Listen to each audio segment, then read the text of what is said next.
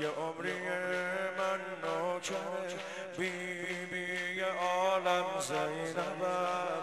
یادآورم از آن زمان زینب و راهی پر بلا بیش از تو تنها مانده در جایی به نام کربلا. هر سو نظر اندازد و بیند که گل پر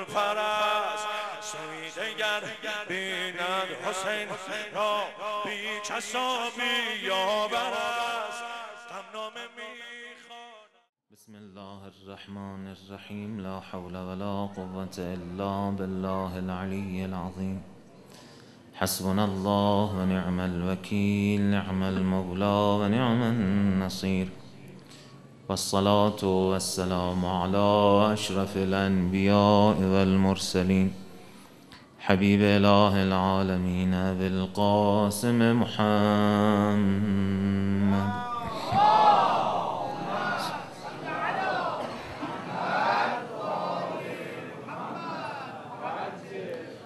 وعلى أهل بيته المظلومين سيما بقية الله في الأرضين. واللعن على أعدائهم إلى يوم الدين. اللهم كل وليك الحجة ابن الحسن. صلواتك عليه وعلى آبائه. في هذه الساعة وفي كل ساعة وليا وحافظا.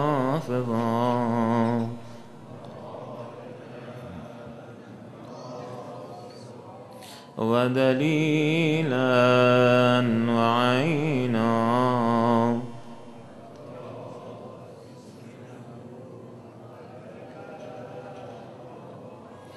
وتمتعهم فيها طويلا.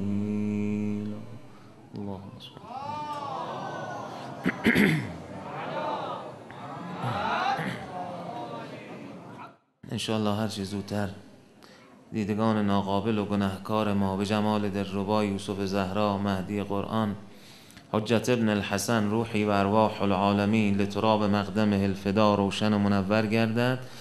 منتظران امام زمان تعجیل در فرج مقدسشون صلوات بلند ختم کنند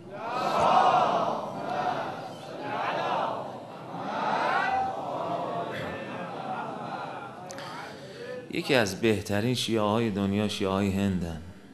اونا در شبای ولادت اهل بیت تا صبح در شبای شهادت اهل بیت تا صبح عزاداری می‌کنن نماز می‌خونن میخوابن. ما خیلی ادعا می‌کنیم ولایی هستیم. اما باید بهتر از خدامون رو ببینیم که خیلی مغرور نشیم. جوونا هیئتی بگن تا ساعت ده شب نشستیم تا ساعت دوازه عزاداری می‌کنیم. بعضی که زحمت کشای هیئتن تا جمع جور کنن تا ساعت دو و سه بیداریم. راستی اگر بقیه شیعه ها رو ببینیم یه بچه کوچیک همه رقم عزاداری کرده برای اربابش. ما خودمون رو مقایسه می‌کنیم خیلی احساس کوچیکی می‌کنیم. هر کاری هم که انجام بدیم او یه دونه ناله ای که امام صادق علیه السلام کشید نمیشه. هر چی درد تحمل کنیم به پیچش امام صادق از شدت سم نمی‌رسه. یا امام صادق آقا دوستتون داریم. صحبت در آثار علم بود بر فرد و جامعه. امام صادق علیه السلام میفرماید که جدم رسول الله چنین فرمودن.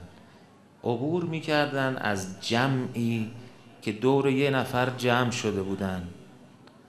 پیغمبر پرسیدن این که دورش جمع شدید کیه؟ قالو یا رسول الله هذا علامه. این علامه است. علامه در لغت عرب یعنی کسی که خیلی چیز بلده. پیغمبر فرمود این چی بلده که بهش میگید علامه؟ گفتن یا رسول الله علم انصاب بلده. می‌دونه کی جدش جد جدش برو تا آخر بلده. تاریخ بلده شعر بلده. تو اون زمان این چیزا خیلی جذابیت داشت. مردم بیکار بودن میشستن دوره هم یا شعر می‌گفتن یا افسانه تعریف می‌کردن. این تاریخ بود قشنگتر بود باز. حضرت فرمودن این علمیه که اگه کسی نداشته باشه ضرر نکرده کسی هم داشته باشه نفع نبرده.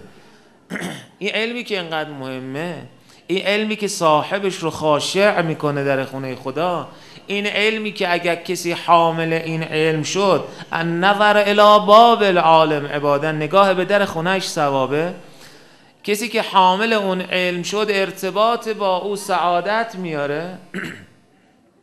علمی که شما اگر کسی را دیدید حامل اون علم شد دوستش داشته باشید این دوستی شما رو به سعادت میرسونه.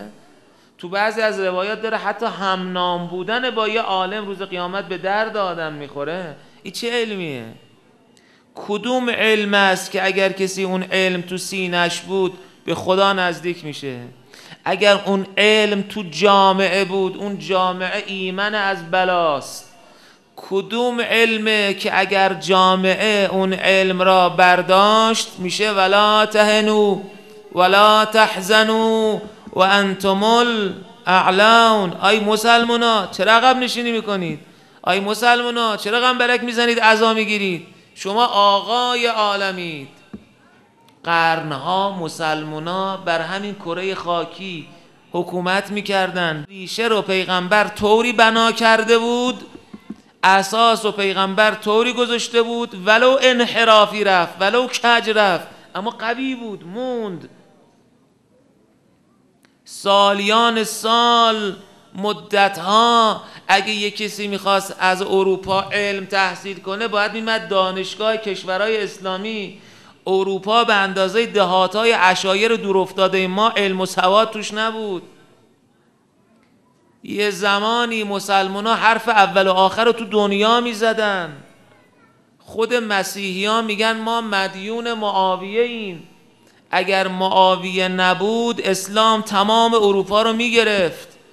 ما اروپا بیچاره بودیم چیزی نداشتیم. اسلام با اون همه زیباییاش اینایی که میگن اسلام با جنگ فتح می‌کرد و پیش می‌رفت.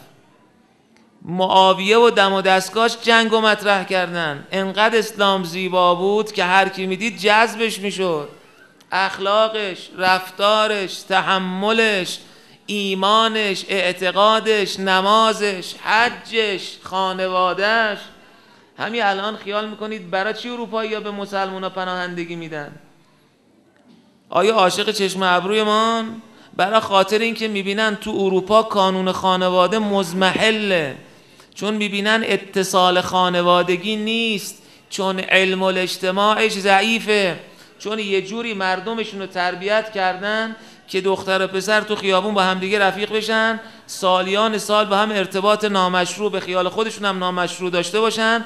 برای خاطر اینکه نیان مالیات به دولت بدن اعلام خانواده نکنن. بعدم بیان اعلام بکنن بعد از 40 50 سال بیان یه خانواده تشکیل بدن. پدر و مادر محبتی با هم ندارن.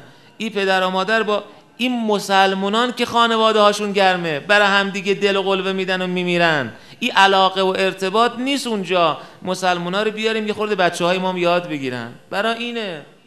خب اینا مسلمونن. ما مسیحی هستیم. میگن به مرور زمان بچه هاشون هم مسیحی می‌کنیم. نسل اول دوم سوم نشد. نسل شما هفتمش مال ماست. مسیحیش می‌کنیم. چرا باید کار به جایی برسه که ما نگاه کنیم به دست اونها همه چیز در اختیار ماست. هر چی هست پیش ماست. می‌دونید مفاتیح الجنان ما رو اونا می‌گیرن خط خطش رو مطالعه می‌کنن تحلیل می‌کنن؟ اونا تمام جریانات ما رو بررسی می‌کنن. همونطوری که از زمینای ما علفا رو می‌گیرن میرن اونجا قرص آمپولش می‌کنن هزار برابر به ما برمیگردونن. از احادیث و آیات و دعاهای ما مطلب در میارن و خودشون به سعادت و کمال می‌رسن. روز به روز از علم امام صادق علیه السلام دارن بیشتر از من و شما استفاده می‌کنن.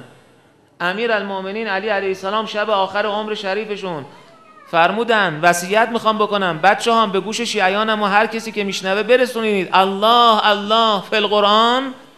لا یسبقنکم بالعمل بهی غیرکم.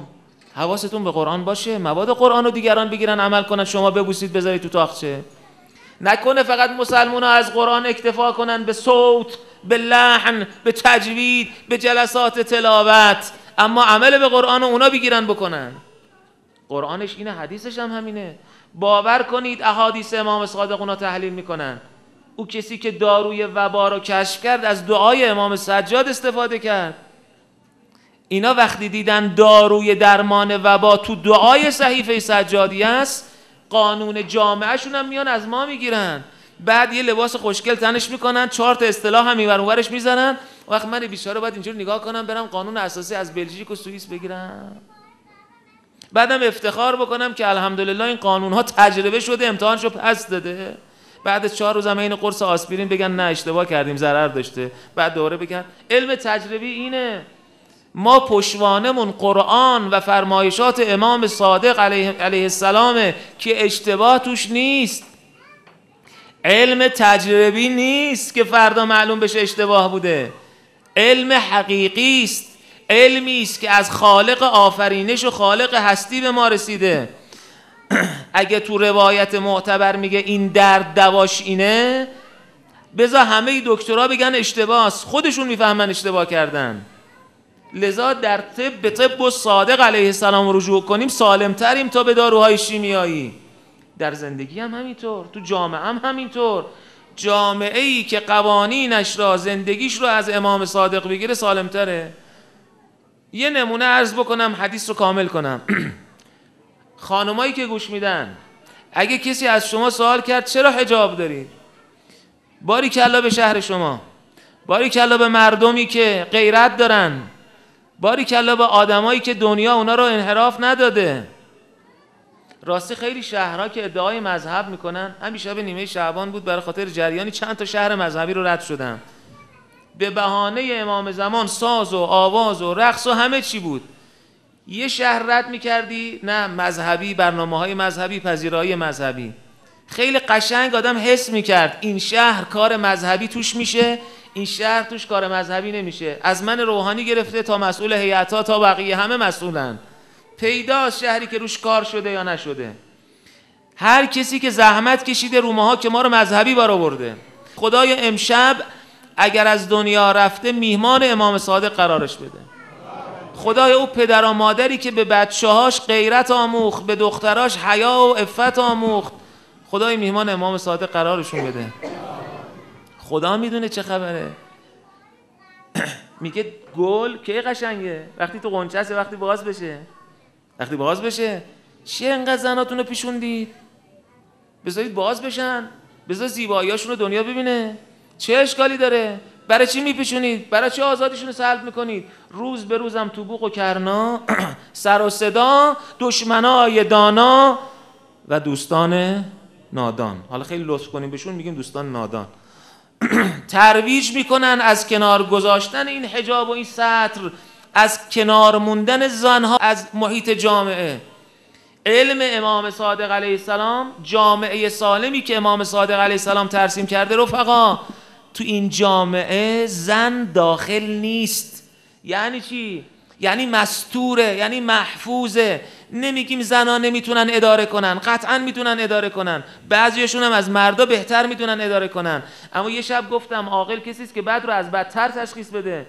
اسلام می‌بینه اگه قرار شد اداره ها دست اداره زندگی اداره جامعه دست زنها بیفته اون لطافت و اون زیبایی درون زن از بین میره. اون لطافتی که خدا بهش داده تا نسل تربیت کنه.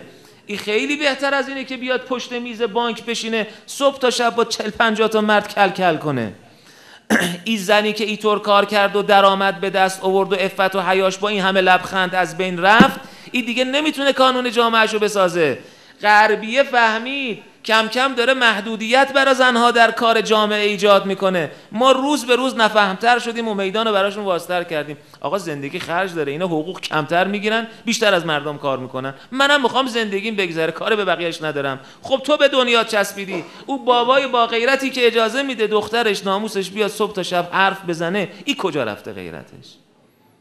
حالا اگه کسی از شما پرسید برای چی اینا رو مستور می‌کنید؟ مکتب امام صادق علیه السلام چرا میگه باید زن؟ شما ببینید خطبه حضرت زهرا را. بی بی مجبور شد چون تنها مدافع علی خودش بود بیاد از خونه بیرون. فاطمه زهرایی که فرمود کمال زن اینه که نه مردی او رو ببینه نه او مردی را. گفت طلاق پاک چه منتش به خاک؟ ها شیخ چی داری میگی؟ من مطمئنم به دخترم. اما وقتی چهار روز گذشت جامعه که مسمومه مسمومش می‌کنه. کم کم چش باز می‌کنیم می‌بینی دیگه اون نیست. یه مدتی لبنان می‌رفتم برای تبلیغ دیدم یه خانمی خیلی مذهبی متدین اما بی هجاب هر چی بحث صحبت گفت من نمی‌تونم با حجاب بشم. گفتم چرا بچه ها تو گفت بچه ها من نمی‌تونم. خودتون راضیشون بکنید اونا با حجاب بشن. یعنی کم کم وقتی مو در اومد قبحش از بین میره. دیگه این چادر رو جلو بیاره این روسری رو بکشه دیگه نمیشه. بخوادم نمی‌تونه. بنابراین دختر 5 6 سالت اگه چادر خوشگل گذاشت سرش اگه رو سرش رو محکم بست نگو دخترم هنوز زوده بازش کن. اگه 9 سالش تموم شد سخت بگیر اشکال نداره. این سخت گرفتن زمانت می‌کنه بقاشو. اسلام میگه بچه بر فطرت سالم متولد میشه. این پدر و مادرن که خرابش می‌کنن. این پدر و مادرن که از نماز و روزه و حج و دین و خدا و حجاب و عفت دورش می‌کنن. یا نگهش میدارن. یه رفیقی داشتیم گفت در یکی از دانشگاه های آمریکا بعد صحبت اومدم بیرون. اس کردم یه تعدادی اطرافم همه دخترن می‌خوان از من سوال کنن. مترجم گفت سوال اینا اینه. آدم خیلی خوبیه. گفت میگن حاج آقا شما چرا زنتون رو مستور می‌کنید؟ گل شکوفا میشه قشنگه. اگه خدا خلق کرده زیبا خلق کرده برای اینکه زیباییشو ببینن. گل تو قنچه بشه درد می‌خوره. دیدم چی به اینا بگم؟ دانشجو تحصیل کردن به زبون خودشون. خدا به دلم انداخت اینطور گفتم. گفتم بهشون که شما دو تا دانشجو تو کلاستون فرض کنید. یکی خیلی خوش استعداد زرنگ فهمیده باهوش به یکی کودن. بی استعداد تنبل. زرنگه تمام درس‌ها رو با معدل بالا هر سال قبول میشه. او با تبصره و اینو ببین و پارتی و قرون صدقه اون برو. هر دوشون از دانشگاه فارغ التحصیل شدن. می‌خوان وارد میدون کار بشن. اینی که استعداد نداره خیلی زیباست. اونی که خیلی خوش استعداد زیبا نیست. چون زشت که خدا خلق نکرده زیباییش کمتره. اینا وارد میدون کار میشن. اونی که زیباست کار پیدا می‌کنه گفت بستگی داره به زیباییش دعوام میشه سرش. چقدر حقوق بهش میدن؟ گفت تا هزار دلار بهش میدن. قصه مال قدیمه. گفت اون که زیبا نیست چی؟ گفت به سختی کار پیدا می‌کنه. اگرم کار پیدا کنه اوج حقوقش 400 دلار یعنی از نصف اونم کمتر. گفتم خودتون گفتید؟ دقت کنید به جوابی که دادید. اون استعداد اون هنر اون توانایی توی جامعه از بین میره یا نه؟ جامعه ای که ارزش رو به زیبایی بده نه به استعداد و فهم. آیندهش به کجا خواهد کشید؟ گفتن راست میگی. جامعه کم کم رکود پیدا می‌کنه. استعدادها شکوفه نمیشه. فهمیده ها دیگه درس نمی‌خونن خراب میشه. چیکار کنی؟ گفتمشون اسلام که میگه دختراتون رو مستور کنید برای خاطر اینکه دیگه ارزش به فهم و استعداد و درک و شعور باشه. نه به زیبایی چون زیبایی دیگه نیست. همه مثل همه اسلام میگه اگر من گفتم گردی صورت و کف دست واجبه بقیهش پوشیده بشه اینا اشکال نداره. مال دختر زیبای جوون نیست که جذابیتش توی صورت و دستشه. اون اگه این اندازه هم بپوشونه لازمه. بعضی از مراجع فتوا می‌دادن به وجوب. همین الان بعضی از مسلمان ها رو آدم تعجب می‌کنه به خدا. تو بعضی از کشورهایی که اکثریتش غیر مسلمونن خدا می‌دونه من دیدم مسیحیه حجابش از مسلمون شیعه بهتره. دیدم بوداییه که حجاب تو دینش نیست تمام بدنشو پوشونده حتی فقط صورتش چشاش در اومده. چقدر فرقه؟ چقدر فرقه؟ او کشور آزاد فهمید اگه بخواد به جایی برسه باید خودش از این بازی ها کنار بذاره. من کشور با این همه تبلیغ به حسب ظاهر در امور دینی و حقیقتش نه ببین کار به جایی رسیده که فرار می‌کنه. بره یه جایی که آزاد باشه آزادیشو بروز بده و نشون بده. امام صادق علیه السلام پیغمبر فرمودن علم سه تاست اگه این سه تا تو جامعه محقق شد جامعه سالم میشه. دیگه لازم نیست سخنان بیاد گلو خودشو پاره بکنه برای حجاب. بیاد داد بزنه برای نماز. بیاد یخه چاک بکنه که مردم به داد هم برسن خمس بدن. بیاد فریاد کنه آی مردمی چه بازاری شما دارید؟ آخه یه بودایی یکی از رفقا می‌گفت تو معبد داشت سخنرانی می‌کرد. زبانشو بلد بودم. دیدم داره میگه آی بودایی تو بازاراتون رشوه می‌دید می‌گیرید. کلا سر همدیگه می‌ذارید. به همدیگه رحم نمی‌کنید. قش در معامله می‌کنید. یک یک شمر خب بیایید بگید مسلمون شدیم دیگه. خب بیاید بگید مسلمان شدیم دیگه بودایی نیستیم. گفت از خجالت سرم انداختم پایین. باورتون میشه؟ تو چند تا کشور این جمله رو با گوشم از مسلمونا شنیدم. گفتن حاج آقا داری برمیگردی می‌خوای سوغات برای زن بچت ببری؟ از مسلمونا نخر. سرتو کلا می‌ذارم برو از اون مسیحیه برو از اون بوداییه بخر مطمئن تره کو این همه تعالیم کو این همه حرفا فاصله گرفتیم جامعه خراب میشه. خدا اینطور نیست که بگه من از شما خوشم اومده. یلا من هر چی بشید قبولتون دارم. نه. خدا یه نعمت به من و شما داده. قبل از من و شما به یه دی دیگه داده بود. شما سابقه مصر رو می‌دونید؟ مصر شیعه هایی بودن رفقا. که معزن وقتی می‌خواست اذان بگه دست رو گوشش میذاشت چی می‌گفت؟ اشهد ان امیر المؤمنین و یحسوب الدین و امام المتقین علی ابن ابی طالب علی الله. انقدر شیعه داغ بودن. همین الانش هم که میری نسبت به امیرالمومنین خیر غیرتی هن. اما تمام شد. الان بزرگترین جرم در مصر از آدم کشی جرمش بالاتر شیعه شدنه. خدا این نعمت ازشون گرفت قدرشو ندونستن. قدرشو ندونستن. از کجا معلوم خدا این نعمت رو بر ما نگه داره؟ اگه خدایی نکرده همه واجبات یکی یک حذف شد. نماز از جامعه رفت حجاب رفت حیا رفت غیرت رفت. البته یه سری عوامل با هم جمع میشه. این علم امام صادق علیه السلامه. میفرماید که صدای موسیقی و ساز و آواز که جایی نواخته بشه یه شیطان مأموریتش اینه میاد رو اعضا و جوارح اونایی که این صدا رو شنیدن میشینه. غیرت رو از اعضا و جوارحشون می‌بره. چشش دیگه بی غیرته گوشش دیگه بی غیرته پوستش دیگه بی غیرته. لذا نگاه می‌کنیم این آدم مسلمون زنش دخترش داره با یه وضع خرابی راه میره. آرایش کرده تو کوچه و خیابون. اصلا مهم نی براش. شما برید از قدیمی ها سوال کنید. آقا این چیزا عادی بود؟ آیا رسم بود؟ رفت غیرت ها اون زمان ها انقدر ساز و آواز نبود. الان توی چیز کوچولو انقدری تو جیبت می‌زنه. تو خونه هست. تو مغازه میری هست تو بازار میری هست تو پارک میری هست تو ورزشگاه میری هست. کم کم غیرت ها میره از اعضای بدن. جامعه میشه جامعه بی غیرت بقیه‌ش هم به دنبالش میاد. پیغمبر فرمود علم ستاست یک فرمود اینی که این بلده به درد نمی‌خوره. حالا کسی نداشته باشه ضرر می‌کنه. علم ستاست آیتون محکمه فریضتون عادله سنتون قائمه. این سه تا چیز باید داشته باشید. یک علم اعتقادات. جامعه ای که عقیدهش سالم باشه این جامعه گرفتار مشکلات نمیشه. دو علم اخلاق و آداب معاشرت. جامعه ای که آداب معاشرتش رو رعایت کنه گرفتار مشکل نمیشه. حالا باز برمیگردم. سه علم احکام فروع دین نماز و روزه و حج. یا رسول الله چرا اول عقاید رو گفتی بعد اخلاق رو گفتی بعد احکامو یکی از احکام نمازه درسته؟ شما در مورد نماز شنیدید عمود و دین ان قبلت قبل ما سواها. نماز انقدر مهمه که رکن همه احکامه. پیغمبر نماز رو بعد از اخلاق و بعد از عقاید ذکر کرد. چی می‌خواد به ما بفرماد؟ بفرماد مسلمونا اگه دیدید یه جوان نماز نمی‌خونه ریشه یابی کنید. ریشهش رو درست کنید. پوماد رو زخم نمالید. از تو خرابه. توش رو درست کن. پوماد بمالی فایده نداره. جلسه قرآن بگیر و بهبه و چهچه و شب 21 رمضان جمعیت تو خیابونا این کافی نیست. در درونه. این کم کم جلسات رو خلوت می‌کنه. کم کم مردم رو از نظر اعتقادی سست می‌کنه. ریشه چیه؟ اینه که این آدم از نظر علم الاخلاق مقید نیست. با پدر و مادر خوب نیست. به بزرگتراش احترام نمی‌گذاره. دروغ زیاد میگه. غیبت زیاد میگه و میشنوه. اینا علم الاخلاقه این سبب میشه آدم یواش یواش از نماز بیفته. خب چرا دروغ میگه؟ چرا غیبت می‌کنه؟ چرا بی حجابه چرا چش چرونی می‌کنه؟ چرا چرا؟ برای خاطر اینکه اعتقاداتش ضعیفه. برای اینکه خدا رو باور نداره. برای اینکه قیامت را و قبر را و مردن را باور نداره. اگه می‌خوای جوونت نمازخون بشه بابا جون. اگه می‌خوای دخترت با حجاب بشه. اگر می‌خوای خمس و زکات تو جامعه محقق بشه اگه می‌خوای جامعه جامعه سالمی باشه باید ریشهش درست بشه. ریشهش عقایده چقدر رو عقاید داره کار میشه؟ عقاید قرص نیست که آدم بخوره محکم بشه. اعتقادات شربت و آب نیست که آدم بخوره. اعتقادات توی جلساته. اگه قدیمی ها طول سال جلسه داشتن نمی‌دونم چقدرشون تو این جلسات هستن حتما هستن. بید بپرسید. طول سال جلسه داشتن. نمیگم هر شب می‌رفتن پا منبرا. اما هفته یه بار بود. منتظر نبودن یه فاطمیه بشه یا محرم بشه.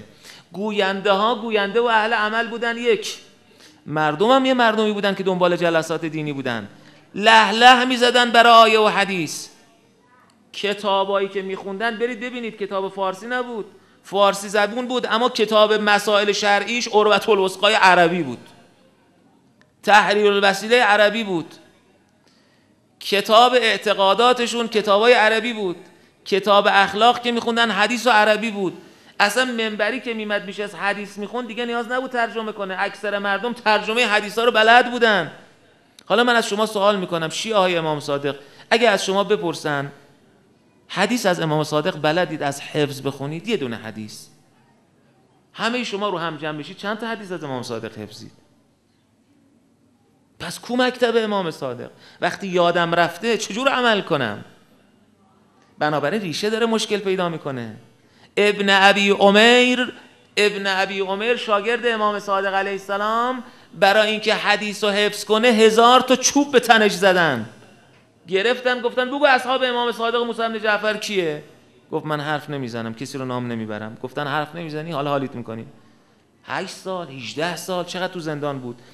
چوب رو بر می داشتن چوب دردش از تازیانه بیشتره. تخته چوب و محکم می‌زدن به تنش. یکی دو تا سه تا قش می‌کرد. سب می‌کردن به هوش میمد دوباره میزدنش. قش می‌کرد به هوش میمد دوباره میزدنش. هزار تا چوب به تنش زدن تا حدیث به من و شما برسونه. وقت ماهی یه بار حوصلم نداریم نمی‌کشیم. یه ذره تحمل کنیم. برای اینکه جامعهمون جامعه سالم بشه. قدر این جلسات رو بدونیم. اشک برای امام صادق علیه السلام سوختن برای امام حسین علیه السلام دل رو آماده می‌کنه برای این معارف. مکتب امام صادق یعنی این جلسات؟ بسمه خدایا ما باور داریم اما دنیا نمی‌ذاره. ما معتقدیم اما این کشا و این چشمک زدن ها و اینا نمی‌ذاره. خدایا ما می‌خوایم به امام صادق نزدیک بشیم. سختمونه. خدایا میشه به حق امام صادق کمکمون کنی؟ خدایا ما برای جوانامون میترسیم. خدایا من برای این بچه های 14 15 سال به پایین میترسم. این نسل چهارم خدا می‌دونه عاقبتش چیه. قرآن میفرماد کلا نمد ها اولا و ها اولا هر کی کار کنه نتیجه می‌گیره. دارن رو بچه های ما کار می‌کنن که این نسل چهارم وقتی سن شما جوان ترا رسیدن دیگه هیچی از امام صادق بلد نباشن. دارن یه کاری می‌کنن که دیگه یکیشون سیاه نپوشه. خدایا به حق امام صادق کمکمون خدایا ما و نسلمون از علی آلش جدا نکن. مدینه قوقایی شد. صاحب علم گنجینه علم استاد مکتب رو دست سه چهار هزار تا شاگرد بلند شد. مدینه یک پارچه زجه شد. همه داد می زدن استاد پدر ما دلسوز ما بعد از تو ما کجا بریم؟ ای امام صادق ما رو تنها نذار آقا. چی می‌خوام بگم؟ می‌خوام بگم شاید اولین بار بود که مدینه این همه سینه زن و گریه کن برای بچه زهرا می‌دید برای امام باقر انقدر شور نبود. برای امام سجاد انقدر شور نبود. بگم برای امام حسن انقدر شور نبود. تیر بود. برای فاطمه زهرا شور نبود. چهار نفر بود. این اولین بار بود که این همه زجه می زدن زار می زدن عشق می ریختن ابن رسول الله می گفتن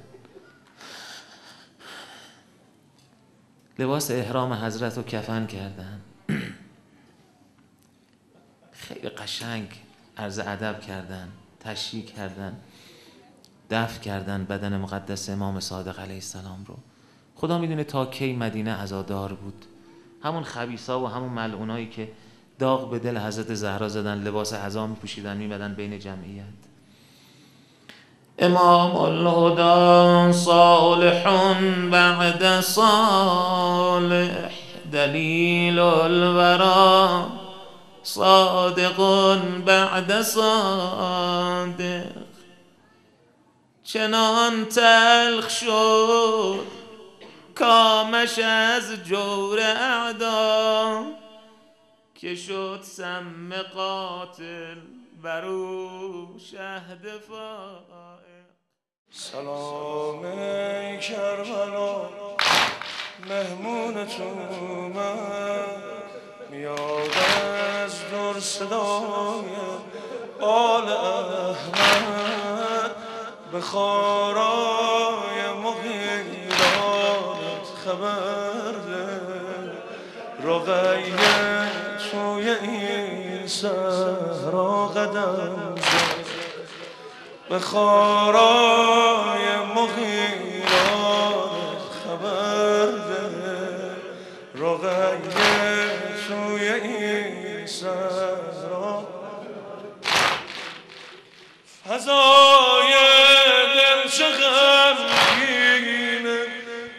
غمی تو دل چه سنگینه ازت بوی جدایی میشه احساس.